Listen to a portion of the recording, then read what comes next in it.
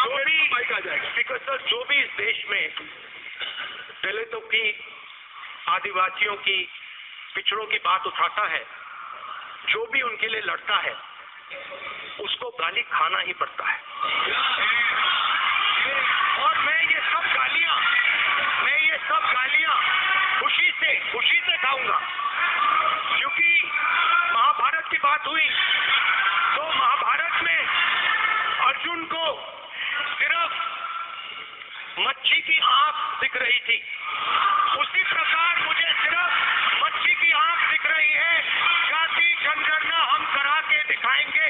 मतलब आपको छतनी गाली देनी है। आप दीजिए हम खुशी से लेंगे। धन्यवाद। धन्यवाद।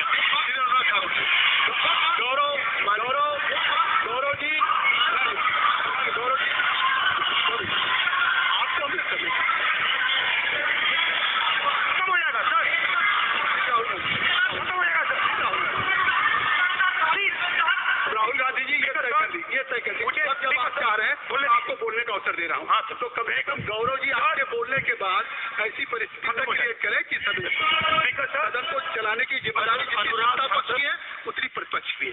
अनुराग ठाकुर जी ने मुझे गाली मुझ पर गाली दी है।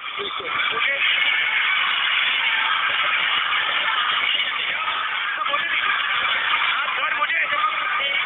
हाँ, सर, अनु- अनुराग ठाकुर जी ने मुझे इंसल्ट किया है।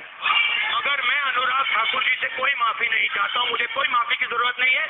मैं लड़ाई लड़ रहा हूँ, जितनी आपको गाली देनी है, मैं आपसे कभी माफ़ी नहीं मांगूँगा, मुझे आपकी माफ़ी नहीं चाहिए।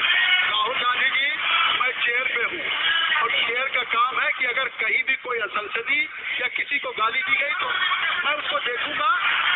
मैं उसको देखूँगा उसको दिखाऊँगा कर रहे हैं, लेकिन अगर अगर दी है तो मैं उसको They shut the clock up, let's